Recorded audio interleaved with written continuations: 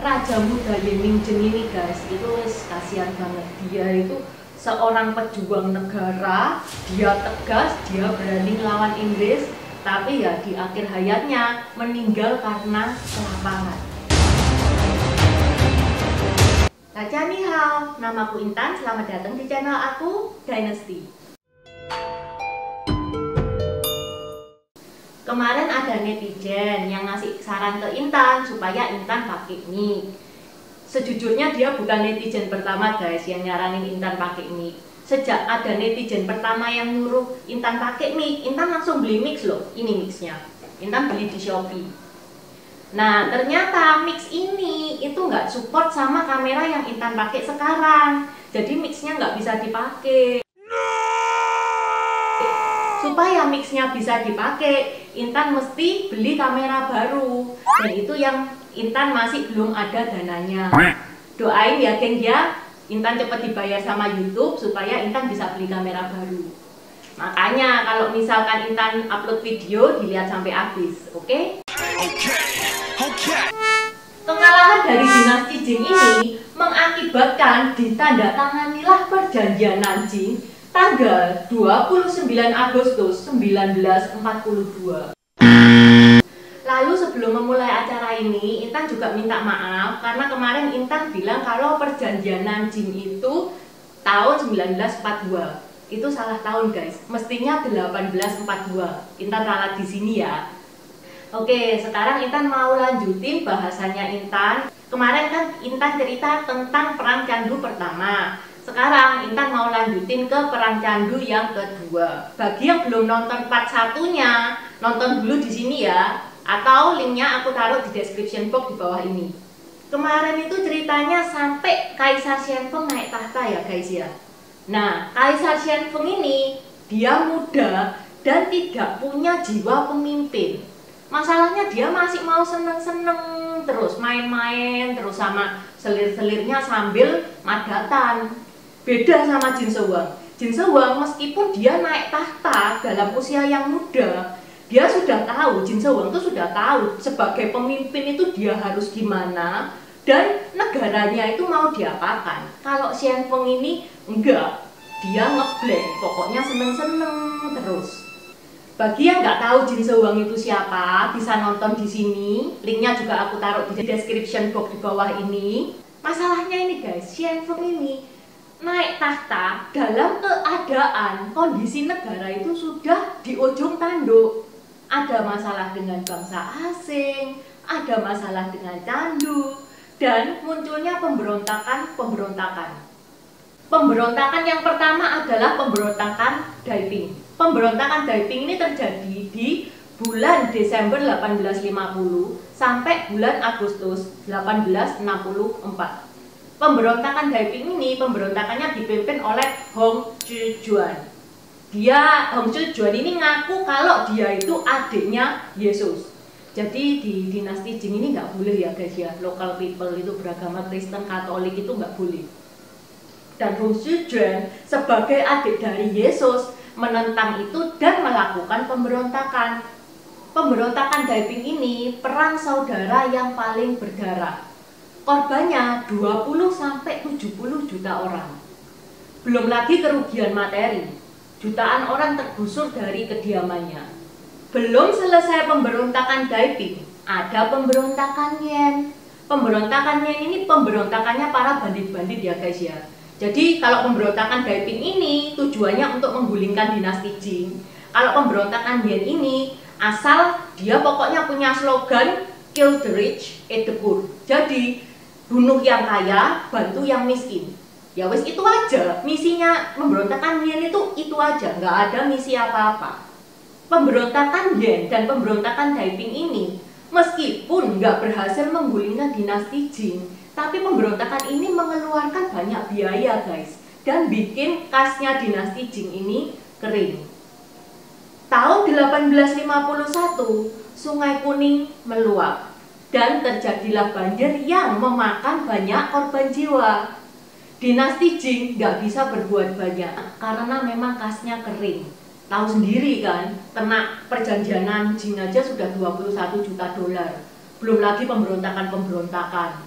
Pemerintah sebenarnya juga sudah nego sama negara-negara barat, minta bantuan kayak gitulah. Tapi juga nggak dibantu oleh negara-negara barat. Tetap saja guys, meskipun negaranya dirudung masalah besar dan bertubi-tubi, Kaisar Jenfeng ini tuh tetap aja opiuman sambil main main-main bersama selir-selirnya. Nah kalau pemimpinnya nggak bisa mimpin ya hancur negaranya. Hingga meletuslah perang candu kedua. Perang candu kedua terjadi di tahun 1856 sampai 1860. Awal kejadiannya itu marinir dari dinasti Jing di Kanton itu menangkap kapal kargo bernama Eru karena dicurigai melakukan perampokan. Dia menangkap selusin ABK dari total 14 ABK. ABK itu anak buah kapal ya guys. Kapal Ero ini pernah digunakan perampok, lalu ditangkap pemerintah, lalu dijual lagi. Pada saat ditahan, kapal ini terdaftar sebagai kapal Inggris. Meski, meskipun tanggalnya sudah kadaluarsa dan masih mengibarkan bendera Inggris. Kapten dari kapal Ero yang bernama Thomas Kennedy melaporkan ada marinir dari dinasti Jing yang menarik dan menurunkan bendera Inggris dari kapal tersebut. Inggris menuntut Raja Muda Ye Mingjin itu meminta maaf karena melecehkan bendera Inggris dan menuntut pembebasan anak buah kapal yang ditahan tadi. Lalu Inggris menempatkan 5.000 tentara di Kanton Masalahnya ya guys ya, Inggris ini nggak sendirian loh. Dia dibantu sama Perancis. Soalnya Perancis ini marah karena misionarisnya dibunuh oleh pejabat dari negeri Jin. 23 Oktober 1856, Inggris menghancurkan empat benteng penghalang. 26 Oktober 1856, Inggris memborbardir kota dengan melepaskan satu tembakan per 10 menit. Raja muda Yeming tadi sampai ngasih woro-woro. Siapa pun yang bisa ngasih kepalanya Inggris ke dia bakal dikasih hadiah besar. Tanggal 29 Oktober, tembok kota diledakkan sampai berlubang dan jadi jalan masuk Amerika. Kediaman Yeming tadi itu ditancapi bendera Amerika ini penghinaan besar ini guys. Ye Ming-chen ditangkap dan diasingkan ke India. 6 November, kapal Jin diserang dan dihancurkan. Amerika Serikat ini awalnya itu dia bilang kalau dia itu pihak netral, pihak netral, pihak netral. Tapi ya gimana lagi, darah itu lebih tebal daripada air. Amerika akhirnya bantu Inggris dan Perancis. Hingga Juni 1958 ditandatanganilah perjanjian Tianjin. Perjanjian Tianjin itu isinya satu, Inggris, Prancis, Rusia, dan Amerika Serikat akan memiliki hak untuk mendirikan kantor legasi diplomat di Beijing. Yang kedua, 10 lebih pelabuhan Jing dibuka untuk perdagangan luar negeri, termasuk New Chuang, Tanshui, Hankou, dan Nanjing. Yang ketiga, memberi hak orang asing untuk berpergian di wilayah internal Tiongkok yang sebelumnya dilarang. Yang keempat, hak kapal asing termasuk kapal komersial bebas berlayar di sungai Yangtze. Yang keenam, Jing mengganti rugi 4 juta perak kepada Inggris dan 2 juta perak kepada Perancis. Pada tanggal 9 April 1859, terdengarlah kabar duka bahwa Raja Muda Ye Mingzhen meninggal dunia akibat kelaparan di Kalkuta, India. Kasihan ya guys ya, seorang raja meninggalnya karena kelaparan guys. Inggris tetap nggak terima guys. Dia kepengen mengeruk kekayaan sebanyak-banyaknya. 24 Juni 1859, sekelompok kecil pasukan Inggris meledakkan rintangan besi di sungai Peihe. Di musim panas 1860 terjadi pertempuran di benteng Dapu.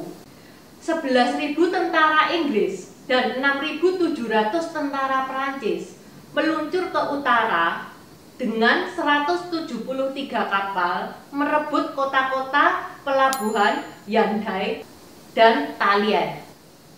Tanggal 3 Agustus, mereka melakukan pendaratan di Pedang yang berjarak 3 km dari benteng Dagu. Tanggal 2 September 1860, Inggris berhasil merebut Tianjin. Karena dirudung permasalahan yang begitu banyak dan menderita kekalahan yang begitu banyak, akhirnya Kaisar Xianfeng lari. Dia nyuruh saudaranya Pangeran Gong untuk negosiasi pasukan Inggris ini guys akhirnya menjarah istana musim panas karena di sini banyak karya seni banyak karya seni karya seni yang berharga gitu dan banyak barang-barang yang dilapisi emas dan perak. Jadi kalau misalkan kalian ke Cina sekarang itu banyak kayak kendi-kendi, guci-guci itu kan awalnya lapisan emas ya itu sekarang sudah kropos ya karena itu sejarah Inggris Perang candu kedua ini berakhir dengan konveksi Beijing pada 18 Oktober 1860 yang disahkan oleh Pangeran Gong. Isi dari konveksi Beijing ini antara lain nomor satu penandatanganan perjanjian Tiongkok di Tianjin. Yang nomor dua membuka Tianjin sebagai pelabuhan perdagangan. Yang ketiga kebebasan beragama. Yang keempat, menyerahkan distrik nomor satunya Kowloon ke Inggris. Yang kelima, kapal-kapal Inggris diizinkan membawa orang-orang Tiongkok yang memiliki kontrak legal ke Amerika. Yang keenam, ganti rugi Inggris dan Perancis meningkat masing-masing 8 juta perak ke negara itu. Ketujuh, legalisasi perdagangan opium. Sudah sekarang opium bener-bener bebas. Kaisar Jenfeng ini guys, dia nggak berani kembali ke istana. Dia menghabiskan waktunya itu untuk minum-minum, opiuman, dan kesehatannya Pangeran Jenfeng ini semakin hari semakin menurun. Saat Pangeran Xianfeng ini kondisinya kritis, dia manggil delapan menterinya memberi delapan menteri ini kuasa kepada anaknya. Anaknya waktu itu masih kecil ya. Namanya Kaisar Caijun ia juga menulis sepucuk surat rahasia kepada permaisurinya yaitu permaisurinya Jian supaya permaisuri ini berhati-hati kepada Selir Yi. Pada tanggal 22 Agustus 1861 Kaisar Jianfeng meninggal dan ternyata feelingnya Kaisar Xianfeng ini nggak salah guys. Tahun 1881, Permaisuri Jian meninggal dan itu diduga diracuni oleh Selirgi. Selirgi ini yang nantinya adalah Ibu Suri Jush. Terima kasih sudah menonton dan sampai jumpa. Terima kasih udah nonton channel ini sampai habis. Dukung aku terus berkarya dengan klik subscribe dan bunyikan lonceng di bawah ya guys.